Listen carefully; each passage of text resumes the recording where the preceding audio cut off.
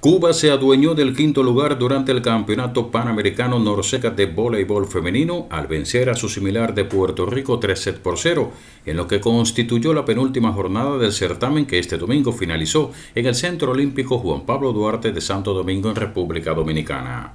Un juego caracterizado de principio a fin con excelentes recibos, mejorías en sus defensas ante las boricuas, buenos bloqueos y remates oportunos fueron elementos distintivos del éxito antillano con parciales de 25-19, 25-23 y 25-20.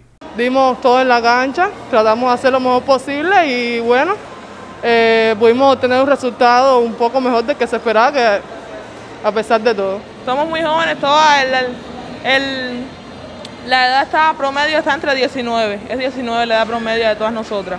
De los equipos participantes, ¿cuál le dio tanto trabajo? Estados Unidos y Dominicana. Cuba en la fase preliminar del torneo Norseca de voleibol para mujeres en la llamada Quisqueya acumuló solo un triunfo en el sistema de todos contra todos ante las boricuas y cuatro reveses frente a selecciones de República Dominicana, Canadá, México y Estados Unidos. Pero al decir de Joel Olazábar, director técnico del plantel, el certamen fue un medidor para las nuevas figuras del deporte. Y la aspiración nuestra es que estas jugadoras, más las, más veteranas, para decirlo de alguna manera, porque también tienen 22, 23 años, nos ayuden al próximo centroamericano eh, ya lograr ir viendo un despunte y tratar de, alcanzar el podio, de estar entre los tres primeros lugares en los Juegos Centroamericanos. La presencia de Cuba en la Copa Norseca de Voleibol Femenino con sede en República Dominicana demostró el interés de la isla en seguir fomentando en sus atletas su capacidad competitiva en la arena internacional. Desde Santo Domingo, República Dominicana, Enrique Portundo,